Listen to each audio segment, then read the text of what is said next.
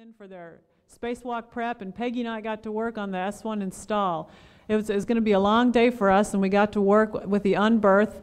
And it does take two people to fly that arm. There's a lot going on there. You got to manage the camera views. You have to do the actual flying, keep an eye on the procedures. There's comm between the ground, comm between the shuttle. Just a whole lot of work.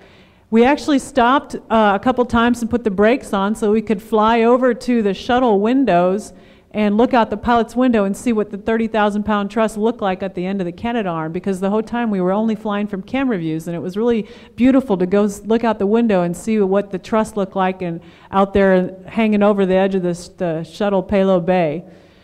When we worked through the procedures, there were some great procedures and we got up and got the install done. And once the install wasn't done, we attached this truss with some bolts to the S0 truss and reconfigured for the EVA.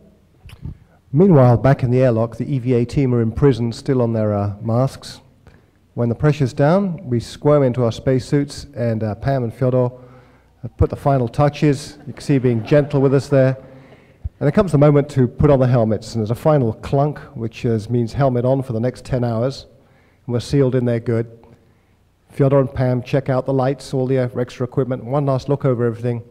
And it's time to cram us into the airlock. But before that, we always indulge in a few pagan rites to appease the EVA gods.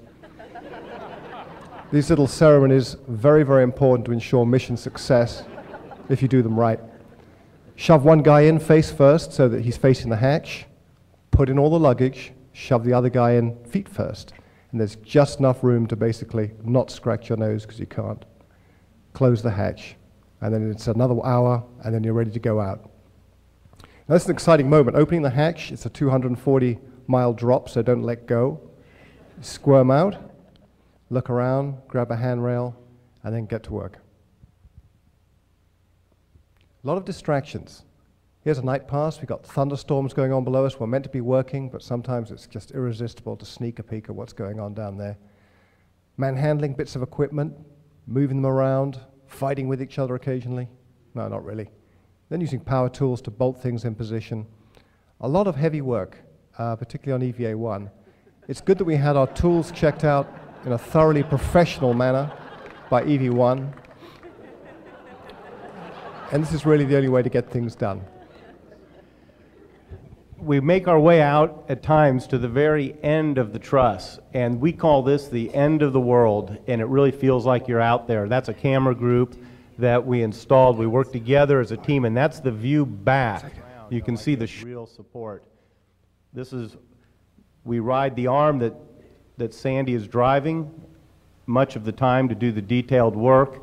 And if you happen to look, dare to look down, which I tried to avoid, tried to mainly focus on the station, you could get these incredible views, which if you let yourself, you can get kind of lost in. There's the empty payload bay. It used to have the truss inside the laboratory module